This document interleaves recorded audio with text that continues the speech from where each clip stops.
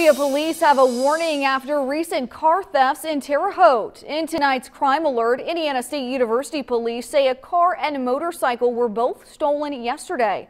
Police say the motorcycle was taken from an ISU parking lot and a car was stolen from North 19th Street.